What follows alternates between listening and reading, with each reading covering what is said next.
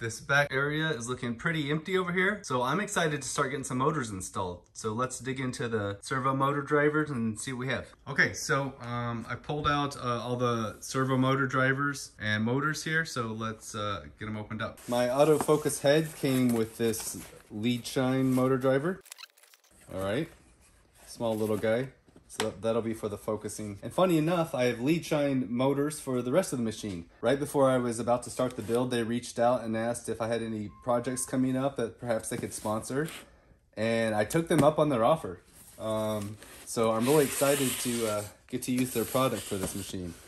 So um, they sent me um, actually five drives and motors because I was originally thinking that I was going to try to incorporate the uh, the fourth axis for the tube cutting on this machine.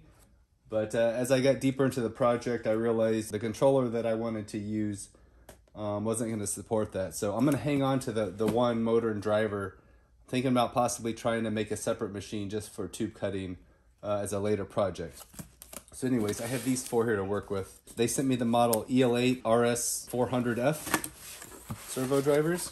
These are going to control the accompanying 400 watt servo motors paired with a 5 to 1 reducer. It would make sense to just use larger motors, but in my case, I went this route because of the limited power supply on my garage circuits.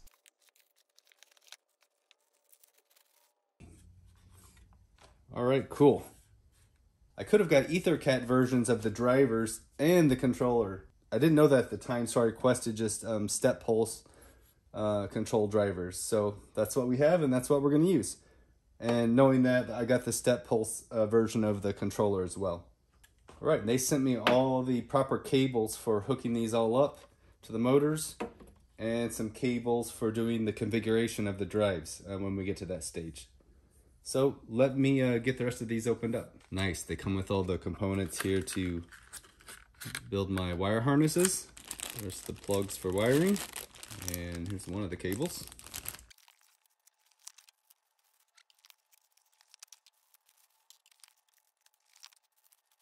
Okay, so here's what we have to hook up. We have the driver for the autofocus head. We have Z-axis, X-axis, Y1 and Y2. So let's start by getting these mounted to the back of the machine. I was just looking up how I need to space these out. So uh, I'm gonna go draw some lines on my control panel there and see where to mount these.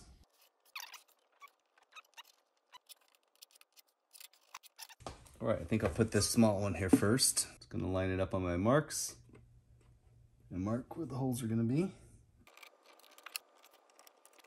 All right, let's try that. Lee Leadshine gave me these battery kits that are gonna be hooked up for the Absolute encoder. So I think I'm gonna install those onto the drivers right now before I install them. Here are the battery kits. Looks like they slide right on in here, like so. Okay, nice. I think we can get these installed on the machine.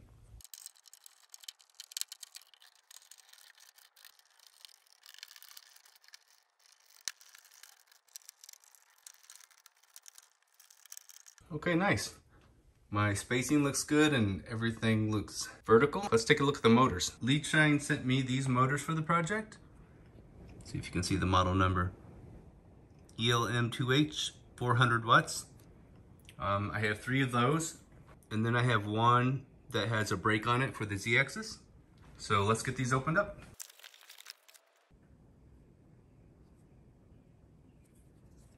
All right. Here you can see the brake mechanism on the end.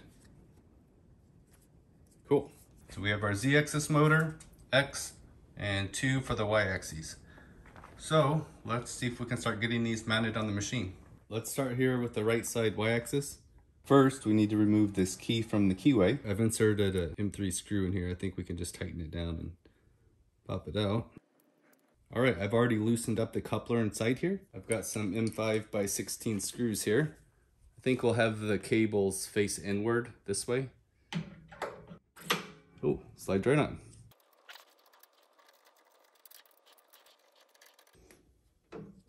All right, cool. That's loosely on there. Let's do another one. Okay, let's get the other side installed. All right, that's loosely on there. Now for the X-axis motor. If I design this right, there should be just enough clearance to, to right above the top of the drag chain here.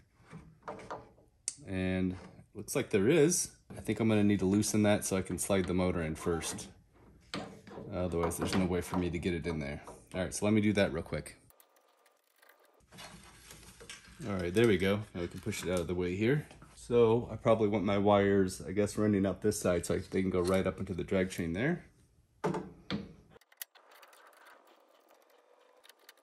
Now I can get this drag chain. Ooh, that just barely fits under there. That's perfect. Um, I'll get that reattached. All that looks really good.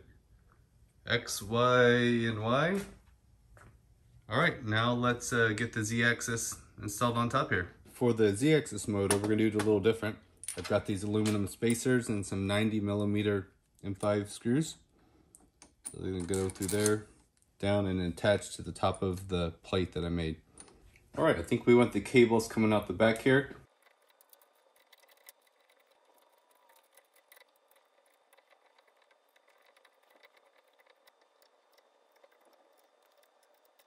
Leadshine sent me all the appropriate cables to hook up these motors to the drivers.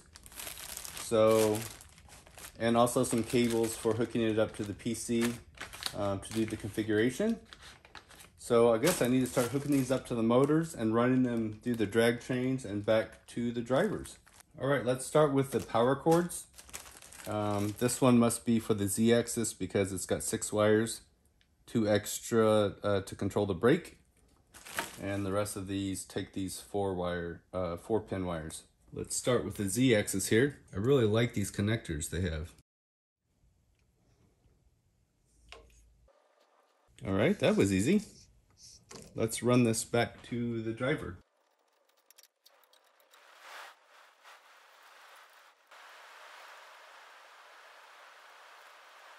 All right, we're to the back and just enough length. Um, cool, that should be the longest one we need, so everything else is gonna be, have a little extra. Okay, let's hook up the encoder cable the same way. All right, let's run it back through the drag chain.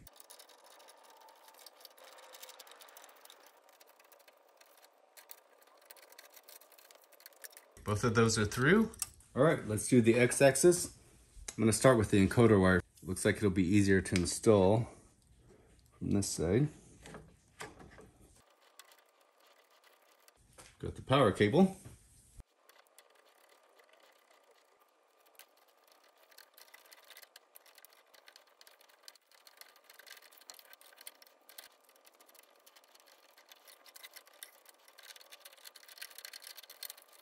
I've got the x-axis wires through and I've got them both labeled here. So now we can do the y-axis. Okay, there's no drag chain for these, so I'll probably just have them enter through what will be the back panel here uh, after we cut it out later. So I'll just have to leave an access hole for the wires to run through here. Let's hook up the y-axis on the right side.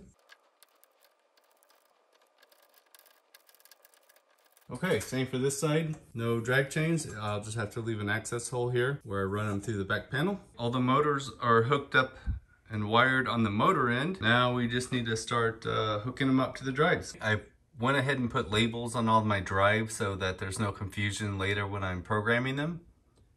And I've also put some labels on my Y motors. The other two are self-explanatory. Connecting all the encoders is easy. Plug right into the CN2 slot. Like so. Okay, I just referred to the manual and it looks like we simply plug these in here to the batteries for the absolute encoder. Now to hook up the power to each drive, um, all the wires are clearly labeled PE, U, V, and W. And they're just gonna go into these connectors here. And you can use these little tools they come with to open up the terminal where you plug it in. So I'm going to go ahead and connect all these now.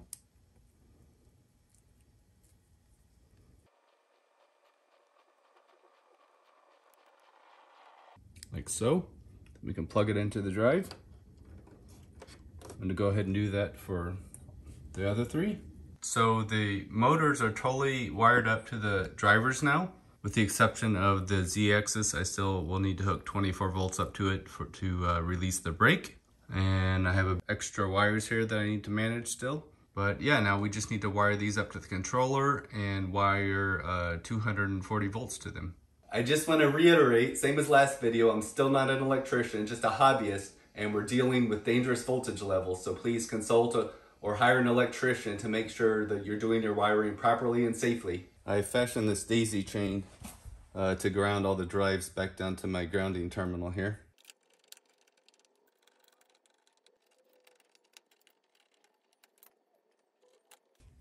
Let's start hooking up some power to these servo drives.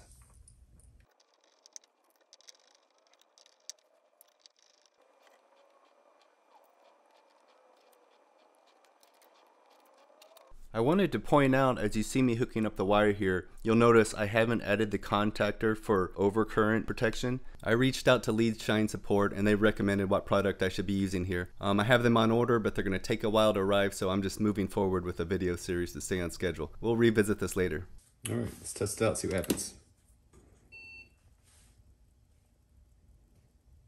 Alright, it powered on. Cool. All right, just uh, three more of these, and then the small one hooks up to 24 volts. I decided to go ahead and add one more raceway right under these servo drives here. Help keep this a little more tidy. All right, there we go. That should give me a spot to run some of these power wires up to the servo drives and keep it a little cleaner. I had a little extra length on these wires, so I moved them from here over to here. Now I have some more for this one.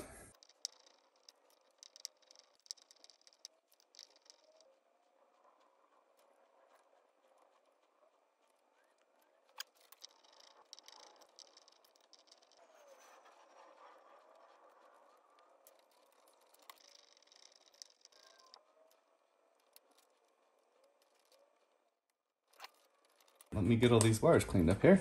Let's have a see if they power on.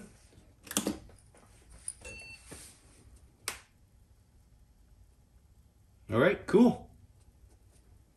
Now I still just need to wire this one up to 24 volts it looks like. I've been working on cleaning up the wiring on these servo drives before we start wiring them up to the controller. I still have these two wires coming off the Z-axis motor that's gonna need to go to 24 volts. This is running off 24 volts. Um, so because of both of those, I'm gonna get a, another uh, 10 amp 24 volt power supply that I'm gonna mount right here to connect both of those two. This other 24 volt power supply came in, so I think it's gotta go right here. It's really the only spot left to put it.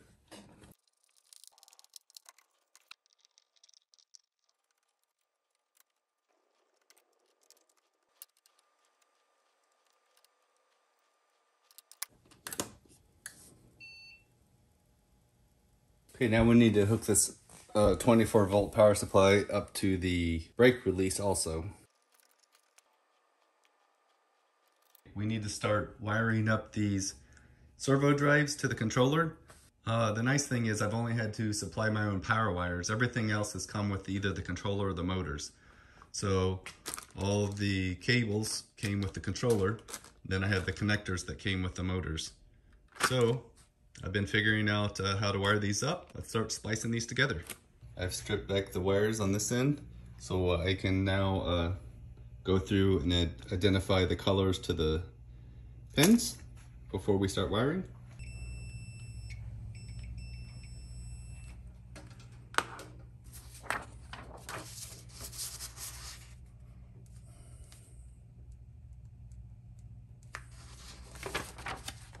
I've mapped out all the colors to the pins.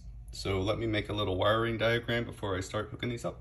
On my computer, I've mapped out all the pin connections and I'm just gonna write them down here on my paper to make it easy. Okay, I've made my cheat sheet, so let me get this connector all soldered up. I've also mapped out all the pins I'm gonna be soldering on this connector. That way I can be sure to do the inner rows first while I can access them and work my way out. All of this pin mapping and wiring took several hours of work, so it's a really good reason to go with the EtherCAT version of the drives and controller if you have the option. You could not have to deal with any of this and just plug in an Ethernet cable. I've got the first connector all soldered up, so let's get the uh, case on it and hook it up. I've got my other three cables soldered up. So let's get them hooked up to the drives. I've got all the servo drives hooked up to the controller, except for the drive for the uh, autofocus head. I had to set some parameters on the drives, just a few, so let me show you real quick. Parameter one needed to be set to zero for position mode.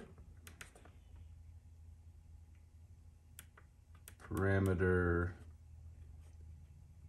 5 needed to be set to 1 for the high-speed pulse input. Parameter 6 needed to be set to 1 to inverse the command pulse polarity. And parameter 7 needed to be set to 3 um, to for the command pulse in, input mode for pulse sequence plus direction symbol. And that was it on this end. Now in the Raytools configuration software, um, I've not configured any of the parameters for the distance. I'll have to do that later, but um, for each of the motors, I had to check this box to reverse the encoder direction for the X and Y. And then for the Z, I also had to do it here. That was all I did on the configuration so far. Now, when I start the control software, you can hear the brake release on the z-axis. Okay, we have movement.